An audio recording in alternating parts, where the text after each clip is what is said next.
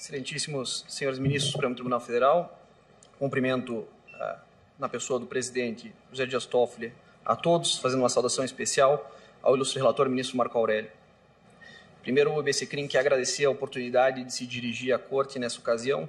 Sabemos que ser amigo da Corte é uma deferência e o IBCCRIM espera honrar essa tradição, apresentando aqui os argumentos que podem orientar uma decisão melhor calibrada em virtude do que está em discussão que é a constitucionalidade do artigo 283 do Código do Processo Penal.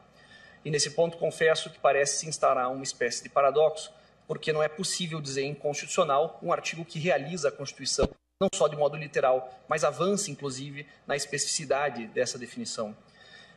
Isso nos fez recordar, no início das nossas considerações, uma crítica que o filósofo Gilles Deleuze escreveu a Henry Bergson dizendo que quando falsas perguntas aparecem antes mesmo que falsas respostas possam ser dadas a verdadeiras perguntas, ali existe o campo da ideologia.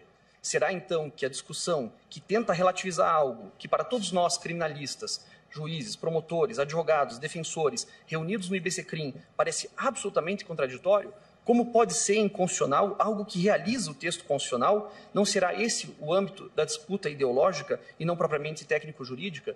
Por isso, nós nos concentramos em enfrentar os sete argumentos que foram manejados pelos ministros, que entenderam de maneira diversa na, na ocasião do julgamento do habeas corpus 126-292. O primeiro argumento que ali foi apresentado é de que a Constituição da República diria não de que o sujeito não pode ser preso, mas de que ele não pode ser tratado como culpado. Esse argumento da Tavênia, é preciso dizer, não tem o menor cabimento lógico, porque, evidentemente, considerando que a culpabilidade integra o conceito analítico de fato punível, e se a culpabilidade pode ser transformada por meio de recurso, então não haveria como dizer que há o princípio da culpabilidade como num crime, nula pena sine culpa, preenchido na iminência disso ser reformado no futuro. Então, a incompatibilidade possível entre o artigo 283 do Código de Processo Penal e o artigo 5º, inciso 50 e 57, não faz o menor sentido, porque a culpabilidade é o fundamento da censurabilidade que pode ou não autorizar a execução de uma pena.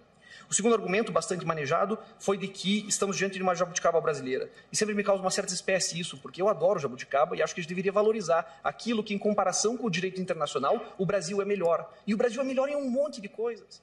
O Brasil tem leis de proteção ao deficiente, leis de valorização e proteção das vítimas, que é muito melhor do que a disciplina internacional. E o que diz o direito internacional de direitos humanos sobre isso? Que quando a regra nacional for melhor do que a internacional, vale a regra internacional o Brasil vai se diminuir por um tipo de imposição um pouco vira-lata, de sentir que talvez os seus princípios não estão de acordo com a maioria da disciplina normativa mundial.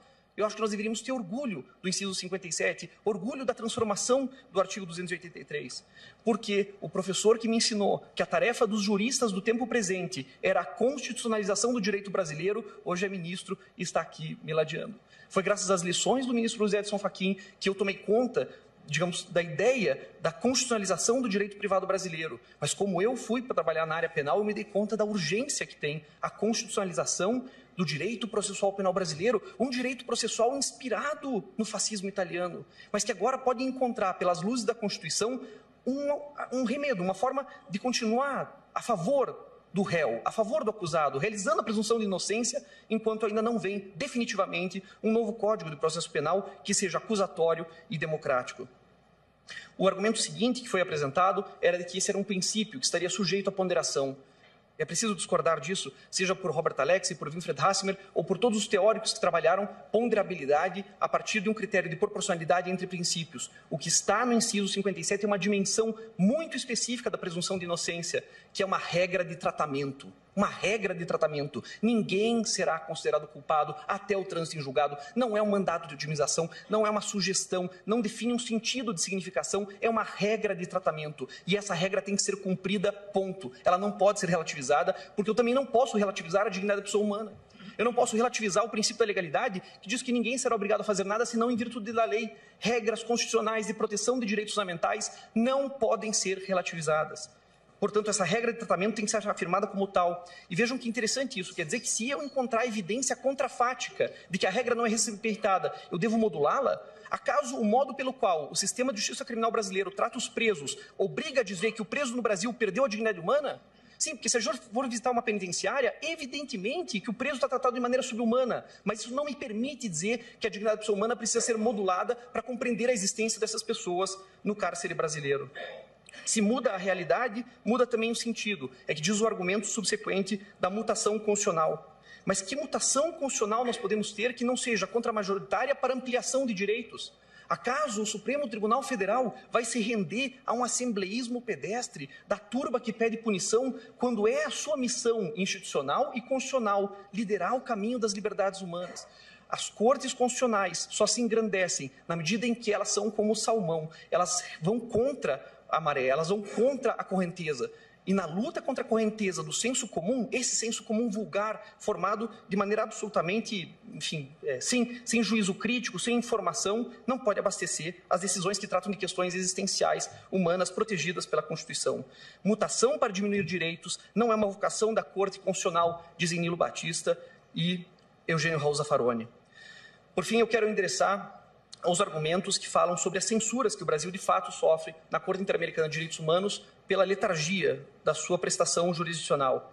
Os casos que foram citados à época do habeas corpus, eh, que definiu esse novo padrão, eh, um padrão inconstitucional do nosso ponto de vista, todos eles, nem todos eles, são censuras que o Brasil recebeu pela conduta dos agentes do sistema de justiça criminal. Nenhum dos casos citados, que aparentemente justificariam uma mudança na posição constitucional do Brasil, tratam de uma crítica ao nosso sistema recursal.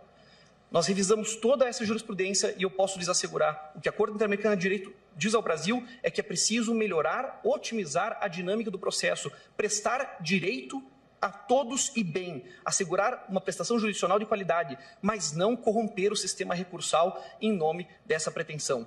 O direito à duração razoável do processo é uma garantia do indivíduo que não pode ser manipulada para atacar os seus direitos. E por último, eu quero me solidarizar com essa corte em relação aos argumentos do terror, aos argumentos falaciosos que fazem de números exagerados e enfim, argumentos consequencialistas de desastre, um ponto crítico severo que espero possa estar blindado na ocasião da decisão de Vossas Excelências. Pelo menos a isso, vice-crime, desde logo, meu nome presta a solidariedade em relação ao Supremo Tribunal Federal, que as questões constitucionais sejam decididas de acordo com a dignidade constitucional do nosso texto maior. Muito obrigado. Agradeço, doutor Mauro.